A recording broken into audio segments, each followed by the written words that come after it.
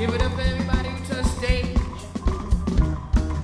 If you understand the power and the passion and the legacy and the importance of Fela Kuti music, Patty make some noise. Yeah, had created something, you know. It's an icon. See this music, this music is not empty music. It's not music that exists with no context. It's more important than ever before that people understand Fela's message. It's speaking in a language that the people on the street speak. This music speaks to the language that they speak in Paris, that they speak in London, that they speak in Berlin, that they speak in Lagos. that they C'est un aîné qui mérite euh, le respect des uns et des autres. That they speak in South America and the Caribbean, in Asia, all over the planet.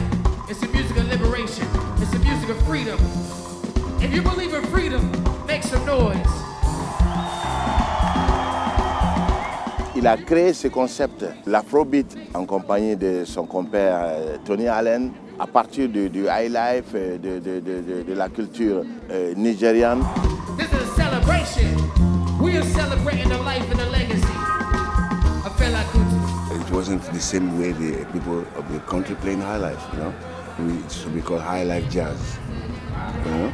No, nobody playing that style. It was named uh, Afrobeat later.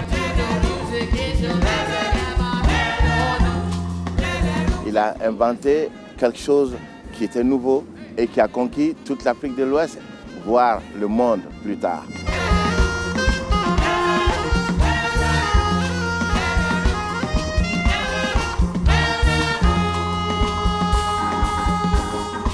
Resist, refuse, fight those rules, like that fuse. Move, move, resist, refuse, like that fuse. Fight those rules, move, resist, refuse, fight those rules, like that fuse. Move. You know, this is a time that humanity is being neglected.